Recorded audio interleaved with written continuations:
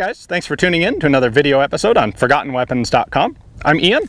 Today I have one of the older rifles that I've ever brought out here. This is an 1879 Martini Henry carbine. Now the Martini Henry was the, the first British Empire uh, breech loading rifle designed from the ground up as a breech loading rifle, and it served all over the world for several decades. Um, served quite well. If you've seen the movie Zulu, of course, you've seen a whole bunch of these. Well, the rifle versions, not the carbines. What the British decided is, starting in uh, 1871, they decided that they needed a carbine version of the Martini for use by artillery and cavalry troops. They tinkered with different e experimental models of this for five or six years. 1877, they finally came to the final final version, which is basically this, sealed the pattern and started production. Um, RSAF Enfield produced about 25,000 of these in the very first year of production, um, and this is one of those. This is an 1879 dated gun. What's kind of interesting is that it is actually designated an IC1 or interchangeable carbine Mark 1. The idea was that they could have the same gun for both cavalry and artillery troops with just a few basically interchanging the stock to have different sling attachments. Um, these also used quite a few parts that were identical to the rifle versions of the Martini, um, thus making manufacture simpler. Um, this thing is pretty light, seven and a half pounds. Fires a the monstrous uh, 577 slash 450 Martini cartridge. That was the the 577 Snider necked down to 45 caliber. The Martini action is basically a falling block action, operated by this lever on the bottom. Pull the lever down, the block drops open, and at the very bottom of travel, you have a pair of small spring-loaded ejectors that pop out the empty case pull the lever up, breech closes, and you're ready to fire. So the standard Martini rifle used a cartridge with a 480 grain bullet. For the carbines, it was determined that recoil was actually pretty brutal with them, and they, they lightened the cartridge. They reduced the amount of powder, they lightened the bullet to 410 grains. Now, I don't have any of that ammo. I have some uh, 1940s production Kynoch, so it's probably going to kick me around quite a bit. Um, I'm anticipating this to be a, a pretty brutal rifle.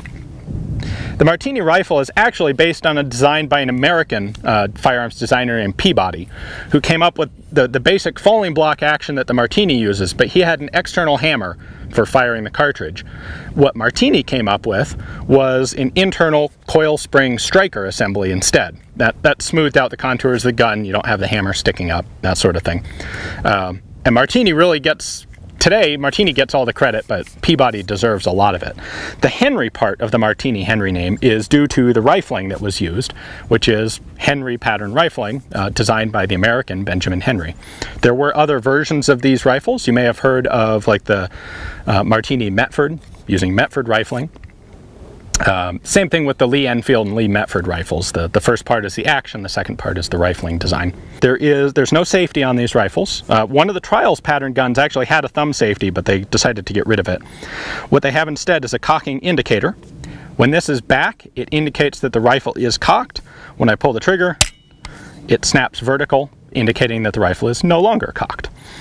Now, on the, the carbines, there were a number of changes from the rifle pattern. One of them is that this indicator was made smaller so that it's less likely to snag on things. The bottom corners of the receiver here were rounded so that it's simpler and smoother to run this into a scabbard. One of the early changes that they made from the very first uh, IC1 carbines was to add these screws to the side. Those are attachment points for a leather sight cover that wraps around the rear sight. It was found that the rear sight tended to snag and grab on things, so they, they came up with a leather cover to protect it. Now this particular gun is missing its front band. That's unfortunate, but that's not, not typical. Um, it should have a front band here. Uh, they only made these interchangeable carbines for a short time before they decided that they really needed a different pattern of gun for the artillery and for the cavalry troops. The cavalry didn't need a bayonet, but the artillery did and they started diversifying into having special cavalry pattern and special artillery pattern guns. But what makes this interesting is it's one of the very early ones where they figured they could do both jobs with one design. All right, let's go ahead and fire this up. Now this Kynoch ammo is reputed to have to, to fairly commonly hang fire, so if there's a click and then a bang, that's why.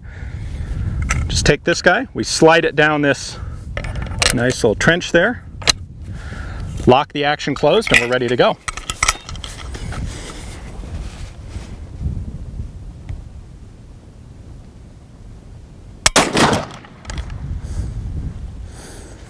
There was a little bit of a hang fire there that you heard, I'm sure.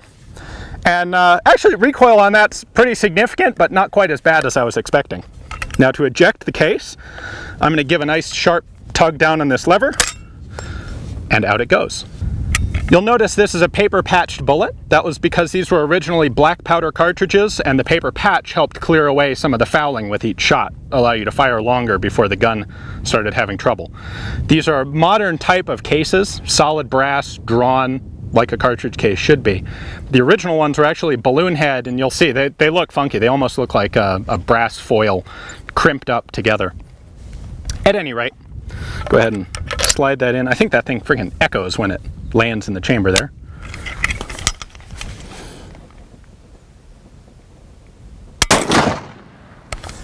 Woo! That one hurt a little bit more. All right, you want to see what this looks like from my perspective? Let me throw on the GoPro and uh, give you a look.